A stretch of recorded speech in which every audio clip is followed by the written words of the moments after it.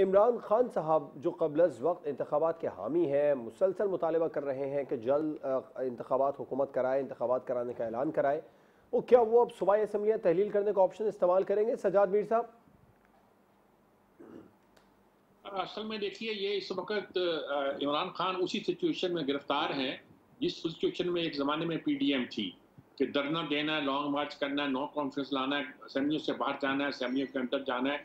हर चीज़ की रिप्रकशन थे negative point थे और पॉजिटिव पॉइंट थे और वो डिसाइड नहीं कर पा रहे थे। इस वक्त इमरान खान के लिए ये काम करना आसान नहीं है कि वो दोनों असेंबलियाँ तोड़ दे और बिल्कुल बेयारो मददगार होकर बैठ जाए और फिर इंतज़ार करे कि वफाक भी इस दबाव में आकर असम्बलियाँ तोड़े और आम जनरल इलेक्शन हो जाए। जबकि सिंध में शायद या बलोचिस्तान में जनरल इलेक्शन नहीं हो पाएँगे। अब सूरत हाल बिल्कुल इस तरह की है कि ये फैसला करना आसान नहीं है कि वो असेंबलियाँ तोड़े लेकिन उससे भी ज़्यादा मुश्किल काम उनके लिए ये होगा कि पंजाब में वो परवेज अलाई की हुकूमत के साथ कैसे चल पड़ते हैं। वो बुजदार की हुकूमत नहीं होगी। और अगर परवेज अलाई बिल्कुल जैसा कि वो कहते हैं कि हम पे तो बहुत एहसान है इमरान खान के, हमें तो एक मिनट में कहे तो मैं असम्बली तोड़ने को तैयार हूँ, मेरे तरफ़ से तो कोई रुकावट नहीं होगी। तो कहने को तो ये सब बातें आसान हैं। लेकिन इससे बहुत से मसाइल पैदा होते हैं। अभी तो लगता यह है कि परवेज लाई के इलेक्शन के रस्ते में भी रुकावटें डाली जाएँगी। जैसे कि आज हुकूमती जमातों के इतिहाद में एक बात कही है कि तमाम पोलिटिकल पार्टियाँ बलोचिस्तान की दूसरे मुल्क, दूसरे इलाकों की पार्टियाँ इस बात की कोशिश करेंगी कि हम, हमजा शरीफ की हुकूमत को बचाने के लिए जो कुछ वो कर सकती हैं वो करें। तो ये सारा जो नक्शा नज़र आता है, वो इतना आसान नहीं है कि आपने असम्बलियाँ तोड़ दी सूबे की। खैबर पख्तूनख्वा की और पंजाब की और ये समझा कि जनरल इलेक्शन के लिए फजा हवार हो गई है।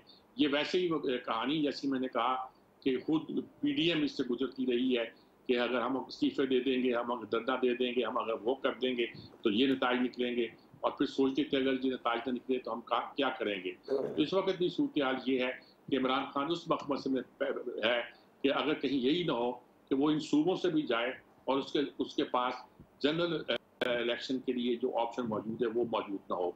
और इमरान खान भी सोच समझ के काम कर रहा है। उसने हदायत दे दी है कि एस्टेब्लिशमेंट के खिलाफ कुछ बात न की जाए।